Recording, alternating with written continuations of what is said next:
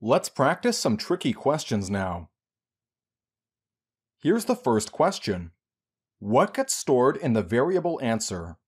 Let's go step by step and solve it. First, check how many question marks are there. For every question mark, there should be a corresponding colon present. If not, code will not compile. We can see two pairs of question marks and colons. This means there are two conditions that are being checked. First condition says, if a less than 5 is true, then print high. If not, execute everything that's written on right side of the first colon. Is a less than 5?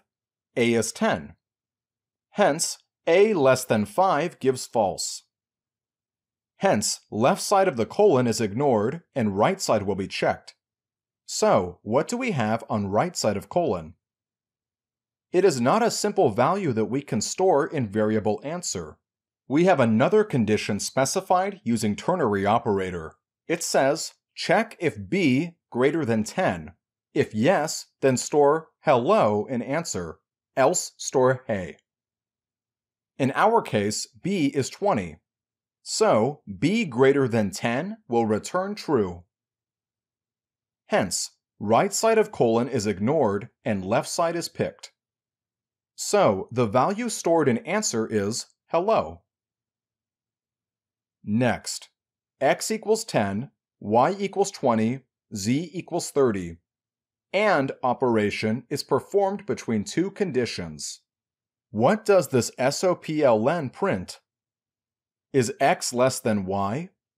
True or false? Is 10 less than 20? Yes. The first condition is thus true. Let's check the next condition. Is y greater than z? Is 20 greater than 30? Of course not. Hence, it will return false. Finally, AND operation is performed between these two conditions.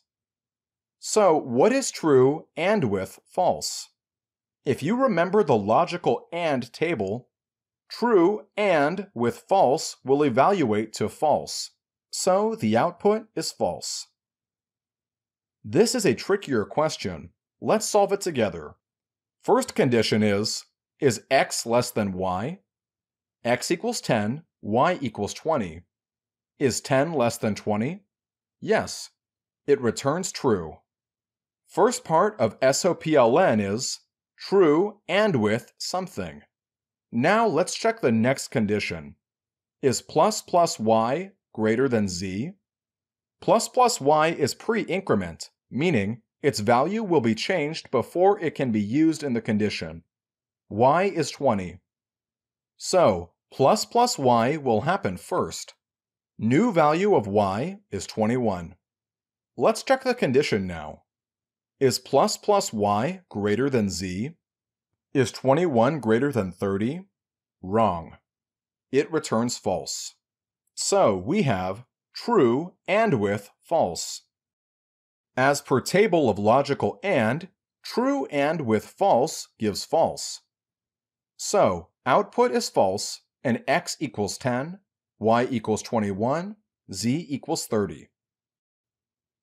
Next question is this. How do we go about it? Firstly, note that instead of logical AND operator, short circuit AND is used. First condition, is x greater than y? Is 10 greater than 20? No. It returns false. So, SOPLN now looks like false and with something. We know from the table of logical AND and short circuit AND is that false and with anything is false, right? As per the table, irrespective of whether the second condition returns true or false, the final result will be false. How does this matter, you'd think? We know that if the result of multiple conditions is evident by checking only few conditions, then short circuit AND does not evaluate the remaining conditions. It obviously skips them, whereas logical AND would check both the conditions. We have false and and with something. But false and and anything is false. It does not matter what that anything is. So, the short circuit and operator used here will not check the second condition. And straightaway returns false. And value of y remains unchanged. The pre-increment never happened because it was anyway pointless, because the result was already predetermined by short circuit AND. Next. Can you guess the output? First condition is x less than y. Is 10 less than 20? Yes, it will return true. So, SOPLN should look like true short circuit OR with something. If you remember the logical OR table, OR evaluates to true if any one of the conditions is true. We already know the result here. Irrespective of whether the second condition returns true or false, the final result will be true. Just like short circuit AND operator, the short circuit OR does not evaluate remaining conditions if the result is evident by checking few conditions. It will not evaluate the second condition thus, because the second condition doesn't matter. Whether it's true or false, the answer is true. So, second condition is ignored. And the output of SOPLN is true. And x equals 10, z equals 30. As the second condition was never executed, y remains the same. y equals 20. Next. The question is same as the last one, but instead of short circuit, we use logical OR. Is x less than y? Yes, we get true. SOPLN will look like true or with something. We know that true or with anything is always true. So, ideally, execution should have finished here itself. But, because we used logical OR operator, the second condition will also be evaluated even though it's pointless. First, plus plus y is executed before checking condition because it is pre-increment. y equals 21 now. Is plus plus y less than z? Is 21 less than 30? Yes. So we get true. SOPLN will thus look like true logical OR with true. The answer is true. We already knew the output was true, but because we used logical OR, the second condition was checked in spite of knowing the result.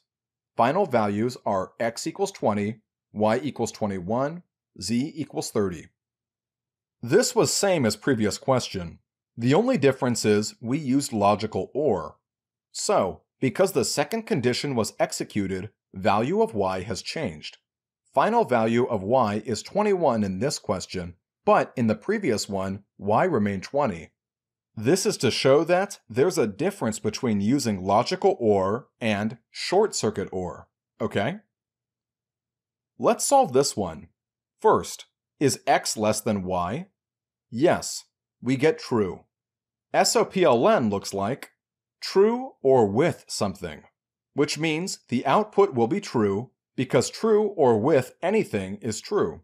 But Next condition will be checked because again, we used logical OR. Is y plus plus greater than z? Let's check y plus plus. y plus plus means post increment, so its value is first consumed and then incremented. Current value of y is 20. It will be used in the condition. Is 20 greater than 30? No, so we get false. SOPLN now looks like true or with false. Now that value of y has been consumed, y will be incremented, because it is post-increment. So, y equals 21 now. Finally, Java will evaluate the SOPLN statement, so true or with false. Answer is true. And final values are x equals 10, y equals 21, z equals 30. Last question. It uses NOT operator and XOR operator. First condition. Is x less than y? Yes. So that gives true. NOT operation is performed on this. NOT simply inverts the value. So, NOT of true is false. The first condition is hence false. SOPLN will look like false XOR with something. Next. Plus plus y. It is pre-increment, so value of y will first be changed. Hence, new value of y is now 21. Now, let's check the second condition. Is 21 greater than 30? False. SOPLN becomes false XOR with false. Let's check XOR table to find out the answer. So, from the table, false XOR with false gives false. Hence, the answer is false. And final values are shown on the screen. That's the end of this video. Feel free to watch it again if you need to, and only then proceed. Thank you.